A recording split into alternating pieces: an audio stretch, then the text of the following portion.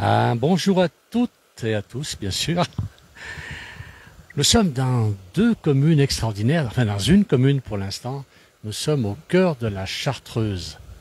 Un endroit magnifique, je ne sais pas si les gens connaissent, on est à 700 mètres d'altitude en moyenne parce que ça bouge beaucoup, ça monte et ça descend beaucoup par ici. Regardez au-dessus du guet, un magnifique, euh, magnifique torrent qui renverse, qui traverse, pardon, la commune, les communes. Et regardez, alors quand je suis arrivé ici, je ne connaissais pas du tout ce lieu. On a une église ici. Et je trouvais bizarre, c'est qu'on avait une autre église dans la commune. On a deux églises dans cette commune. J'ai trouvé ça vraiment bizarre. Et finalement, en me promenant ici, j'ai trouvé quelque chose de super. Nous sommes dans deux communes à la fois. Une commune se trouve en Savoie et l'autre commune se trouve dans le département de l'Isère. Toutes les deux communes s'appellent au même nom. Nous sommes à Saint-Pierre d'Entremont. Voilà. Alors on va traverser un peu ces communes en se promenant. L'endroit est magnifique. On a un très très beau soleil aujourd'hui. L'endroit est superbe. On est au milieu des montagnes. On a même derrière nous, là-bas, on a le granier qui est très connu. Regardez cette, cette montagne qui s'est écroulée plusieurs fois, qui, se, qui donne dans le bout de la combe de Savoie. Et ici, nous sommes au bord du Guier. Alors, il y a deux guiers. Il y a le guier vif et le guier mort. Je ne sais pas lequel est celui-ci. On va avancer un petit peu. On verra que ce, torrent sépare deux communes. Alors on va avancer un petit peu, regardez. Alors c'est un peu désertique aujourd'hui, encore qu'il y a beaucoup de monde, c'est l'heure de, déjeuner. Donc les gens sont plutôt autour de la table, ou encore à l'apéro pour certains, plutôt que se promener en ville. L'endroit est vraiment magnifique, un endroit très très calme, très joli. On est au milieu des montagnes, on est au milieu de, de la nature ici. Regardez si c'est joli. Vraiment de très beaux endroits. On a encore ici les montagnes sont tout de suite au-dessus de nous. De très très grosses falaises. On est dans le centre ici, quasiment au cœur de la Chartreuse. Allez, on va se promener un petit peu. J'espère que vous recevez tous une bonne image, que le son est bon. Voilà. Et on va se promener dans cette commune, dans la première commune. Alors curieusement, ces deux communes ont été rassemblées, enfin n'ont pas été rassemblées, c'est toujours deux communes hein, sur le plan administratif.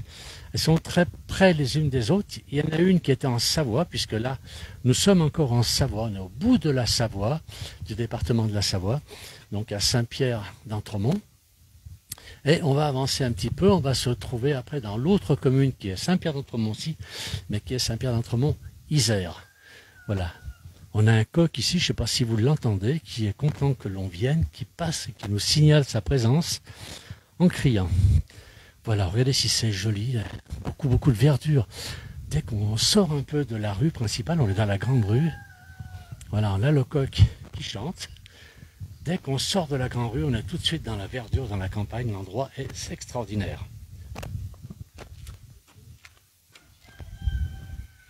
Je ne sais pas si vous entendez le coq, peut-être que le micro ne va pas chercher le son suffisamment loin. Voilà, je me promène dans cette belle commune. Vous voyez, il n'y a pas beaucoup de voitures qui passent. Alors, le coq est en train de s'égosiller. Je ne sais pas si vous l'entendez. voilà, un coq qui est heureux, qui signale sa présence. Il a bien raison. On adore le bruit du coq. En fait, la place du village, entre le coq, les cloches des vaches, les cloches des clochers, c'est super. On adore ça. On adore. Alors par contre ici, regardez, tout des vieilles, on a des vieilles maisons. Ici, je pense que c'était l'ancienne école, hein, peut-être même mairie. Regardez avec les deux côtés comme on avait avant, on a deux panneaux qui ont été effacés, mais certainement école des filles, école des garçons, comme on avait avant dans nos petites communes. Alors ici, sur cette commune de Saint-Pierre d'Entremont, euh, nous avons 450 habitants environ. Hein. Je donne à peu près 450 habitants qui sont donc euh, savoyards. Je donne des jolies petites euh, décorations ici, bien sympathiques, avec les skis. Très jolies. On a 450 habitants, et donc sur cette partie savoyarde. Et puis on va passer ce pont, je vous ferai voir les panneaux. On est toujours à Saint-Pierre d'Entremont, mais euh, dans, ben, il y a 150 ans en arrière, on aurait dit on va en France. Là aujourd'hui on est déjà en France, mais on passe sur le département de l'Isère. Voilà, a une très très jolie croix ici. Je pense qu'il y a une mission, un petit bassin à côté. Ah oui, la forêt tout de suite derrière, c'est extraordinaire. On est dans la rue centrale ici. Et regardez, on passe derrière la maison. On est dans la forêt, on a les sapins, on a un petit peu de pâturage. L'endroit est vraiment extraordinaire. Oui, il doit faire très très bon vivre dans cette, euh, dans cette région. Les gens sont fort sympathiques. J'en ai croisé quelques-uns tout à l'heure. Ils sont vraiment très très gentils. Alors, là on est au milieu, on entend deux clochers. Alors c'est curieux, les gens qui n'aiment pas les cloches euh, d'église, ils sont gâtés ici, puisque on entend les deux clochers, je pense qu'ils sonnent à peu près la même heure en même temps. Il n'y a pas de décalage horaire ici, hein. on change seulement le département. Regardez. Et là, on va quitter Saint-Pierre d'Entremont. Voilà. On entend sonner les deux cloches en même temps, les deux clochers simultanément. Regardez si c'est joli. Un petit jardin, le cours d'eau. Alors là, le cours d'eau est à l'inverse par rapport à celui de tout à l'heure. Voilà, regardez. Et là, on quitte Saint-Pierre d'Entremont. On traverse ce torrent qui s'appelle le Guier Vif. Voilà, vous voyez, on a le, le nom là-bas. Alors, ici, on a le département Saint-Pierre d'Entremont, département de la Savoie, assez curieusement. Et on va traverser le pont, le donc qui sépare les deux départements, donc qui séparait à l'époque la Savoie de la France, du Dauphiné exactement, puisqu'on était en Dauphiné, Savoie de la France. J'imagine qu'il y a dû y avoir quelques bagarres ici sur ce pont. Parce que c'est vrai que des fois, c'était un petit peu tendu dans un département, enfin pas de département, mais du côté français, entre les, entre les deux pays, puisque la Savoie était un pays, et, et ici on était en France. Là on est en territoire, on est en territoire français, toujours en territoire français, puisqu'on est dans l'Isère. Mais donc à l'époque c'était la Savoie. Je me souviens toujours d'un ami qui avait reconstitué une, une bagarre, hein, une, puisque une fille qui venait d'un côté du Guier voulait épouser un Savoyard qui était de l'autre côté du Guier, et ça avait terminé au fusil sur le pont, parce que bah, les, gens ici ne voulaient pas que leur fille aille marier un Savoyard. Voilà, on est maintenant bah, sur territoire français, toujours territoire français, on est sur, dans le département de l'Isère, toujours aussi calme, toujours aussi jolie cette petite commune. Alors j'aime beaucoup j'aime beaucoup le, coin puisque c'est, comment dire, on retrouve cette architecture que l'on a en Savoie alors qu'on a quitté le département de la Savoie. Alors pour ceux qui arrivent maintenant, je rappelle, nous sommes à Saint-Pierre d'Entremont, donc dans le massif de la Chartreuse, la grande Chartreuse. On connaît la Chartreuse, on connaît en général la Chartreuse verte et la Chartreuse jaune. C'est pas très loin d'ici qu'elle était fabriquée, hein, puisqu'on avait le monastère qui est pas très loin d'ici. Voilà. Regardez encore une petite, euh, croix. Là, on est au-dessus du guier vif. On va aller voir. Alors, c'est un bassin avec une croix au-dessus. Je ne sais pas quel âge elle peut avoir. On n'a rien de noté dessus. Regardez, un petit bout de bassin et le guier vif qui est juste en dessous de nous. Alors, de l'autre côté du guier, ben, c'est la Savoie. On n'est pas très loin. Allez, on va retourner, on va continuer à marcher dans cette jolie commune des maisons très anciennes, hein, comme celle qui est là, en pierre. Voilà, on avance. Alors, j'ai pas, pas, beaucoup de messages pour l'instant. Je pense que les gens me reçoivent bien, l'image est bonne, le son est bon. On m'a rien dit pour l'instant. C'est vrai que c'est l'heure de la digestion ou encore du repas pour certains. Voilà, on avance tranquillement. Voilà, une autre église là. On est toujours à Saint-Pierre. J'ai du mal à dire à Saint-Pierre d'Entremont. J'ai changé de commune, mais c'est toujours le même nom. J'ai changé de département seulement. Mais la commune, c'est pas la même commune. Ce sont deux communes bien distinctes, avec chacune leur administration. Dans chaque commune, il y a un maire. Dans chaque commune, il y a une église, il y a une mairie. Et puis il y a le petit bistrot qu'on aime bien. Voilà, ben. vous pouvez le constater, on a très très peu de, circulation. Crois que c'est la deuxième, la troisième voiture qui arrive depuis tout à l'heure. Donc c'est pas du tout fréquenté. Un endroit très agréable. Voilà, deuxième église se situe ici. Très belle église avec derrière le massif de la Chartreuse. Alors là, on a Saint-Père d'Entremont, euh, Isère. Et euh, donc un peu plus grand, il y a 650 habitants exactement. On va aller poser la question parce que j'ai vu tout à l'heure qu'il y avait monsieur Marc Gauthier, qui est le maire de la commune. On va le taper au carreau, on va voir s'il est d'accord pour euh, qu'on lui pose des questions sur cette belle commune. Alors, il est bon le son et l'image. Merci pour le partage. Merci beaucoup, c'est Fad qui nous dit ça. C'est très gentil à vous. Voilà, là on est au pied. On a l'église. Ah non, l'église elle a fini de sonner puisqu'il est 13h35. C'est vrai que quand on habite au milieu entre deux villages, on a les deux sonnettes. Puis j'ai l'impression que là-haut, il y a aussi une petite cloche. Ça devait être une ancienne mairie. Ben, L'endroit est extraordinaire. On est vraiment très très bien ici. Très calme. Alors, là, on va retrouver, comme je disais, on va retrouver M. Marc Gauthier, qui est le maire de cette très jolie commune. Monsieur le maire, bonjour. Bonjour, monsieur. Alors, dites-moi, vous êtes le maire d'une commune charmante, frontalière, comment on dit Frontalier avec euh, la Savoie, frontalier avec euh, bah, le... Nous, ne sommes pas, nous ne sommes pas frontaliers, euh, nous sommes voisins. Voilà, nous sommes voisins de nos amis savoyards avec qui on partage cette charmante commune, puisqu'en définitive, ce n'est qu'une commune qui a, je dirais, une particularité. Elle est, séparée par une limite départementale et par notre rivière qui s'appelle le Guier. C'est le Guier vif ici. Hein. Alors c'est le Guier vif, le Guier vif qui prend, euh, qui prend naissance dans, les, dans le cercle de Saint-Même, en Savoie, mais bon, euh, c'est comme cela. Euh, cette rivière qui est, qui est aussi une source d'approvisionnement en eau potable de, de notre commune. Voilà. Donc, donc on boit de l'eau savoyarde. C'est gentil. Il n'y a, pas de rivalité entre la Savoie et l'Isère, euh, comme ça, gentil bien entendu. Hein. Bien sûr, mais il y a toujours, comme dans, tout, comme dans tout village, nous avons des petites appréciations, des, petites, des petits mots avec, avec nos voisins, mais c'est dans, dans l'humour. Dans l'humour, puisqu'on partage beaucoup de choses avec, euh, avec nos amis savoyards. Nous avons une, une, école communale en commun. Nous avons... Euh, Alors, Savoie ou Isère? Elle est en Savoie. Elle est en Savoie parce que c'était le seul lieu où on pouvait la mettre en place. Il fallait, fallait un terrain relativement grand et plat. Voilà. Donc ça, c'est géré par les, deux communes.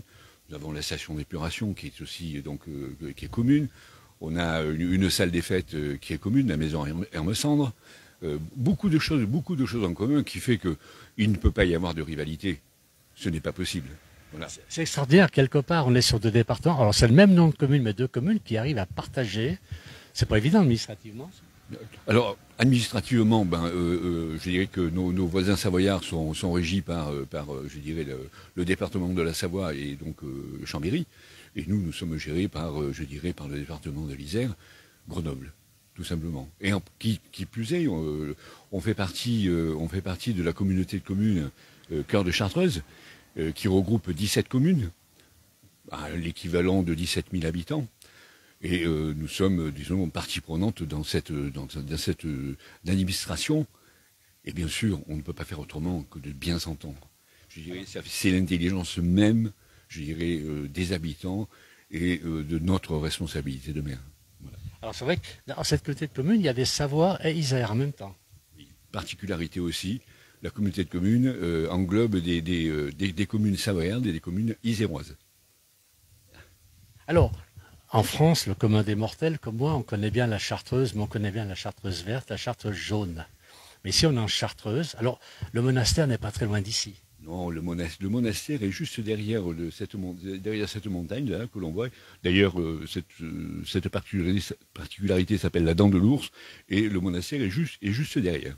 Voilà, donc la dent de l'ours, un peu plus loin, le grand son, et au pied de ceci, il y a le, monastère, donc euh, des, des moines chartreux, qui ont été très, très importants à une certaine époque, puisqu'on leur doit pratiquement tous nos bâtiments, euh, je dirais, euh, style euh, l'église, cette, cette, cette école-là que nous sommes en train de transformer en maison médicale, celle de les Verts, là, qui, est ici.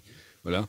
Donc ça, c'était une, c'était une école fait créée par les, par les moines. C'était une école de garçons à l'époque, puis qui a été transformée au fil du temps en, en divers stades. Ça a été une, colonie de vacances et maintenant nous en faisons une maison, une maison de santé avec des, appartements au-dessus. Et là, on va regrouper euh, notre médecin qui est en, qui est en les kinés, les kinésithérapeutes qui sont en Savoie qui viennent, qui viennent rejoindre, les infirmières, euh, la sage-femme et je dirais un, un, ostéopathe. Donc vous voyez très bien que euh, nous avons tout ce qu'il faut pour, pour vivre pleinement euh, dans cette belle vallée. en quelques chiffres, la commune, la commune s'étend sur, sur 6 km. nous avons donc le bourg avec tous les commerces, je me répète peut-être, mais tous les commerces qui sont, qui sont là, et de, et bouche et commerces de, de, vie, de vie courante. Nous avons 11 hameaux, 850 habitants, un climat idéal, un lieu, un lieu de vigilature et de, et de vacances où l'on retrouve énormément, énormément de, randonnées accessibles à tout type de sportifs, même s'ils ne le sont pas. Donc on, peut, on peut passer un temps très agréable chez nous. Oui, alors il n'y a pas que la chartreuse à déguster, on peut faire de la rando, on peut faire du VTT, on peut faire... Euh, de, la, rando, du VTT, euh, on peut pratiquer la via ferrata, puisque nous avons derrière, vous euh, la Roche-Véran, qui est une via ferrata très réputée pour son côté. Voilà, celle qui est ici, la partie la plus, prisée, elle est dans le, dans le, dans le triangle de, la roche, là.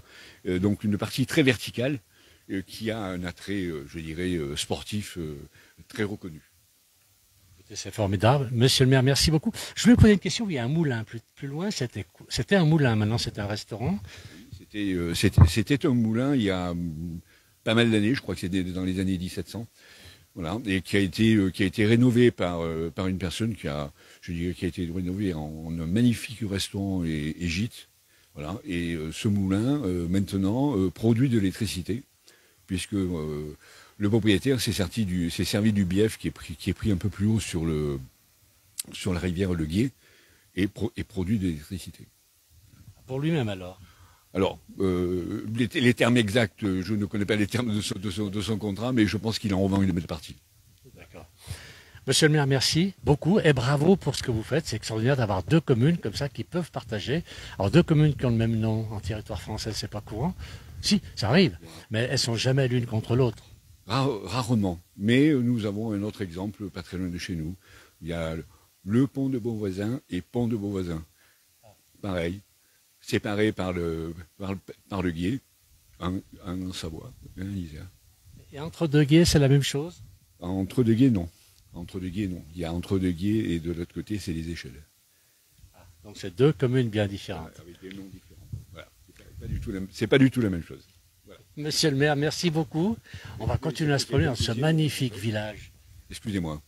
Magnifique village. Je trouve ça extraordinaire d'être ici. Je me promène, c'est le calme, c'est le repos. Quand on veut prendre un petit peu, quand on est un peu trop stressé en ville, on veut se détendre, il faut venir ici. Il y a des hôtels, il y a des restos, il y a tout. Chez nous, nous avons des hôtels, énormément de gîtes aussi. Nous avons quatre restaurants, voilà, des bonnes tables en plus, voilà, des gens qui travaillent avec passion. Et puis, euh, quand vous êtes ici, vous pouvez déguster nos, nos, fromages. Nous avons de magnifiques fromages, de très bons fromages qui sont fabriqués pas très loin, entre Mont-le-Vieux. Quel fromage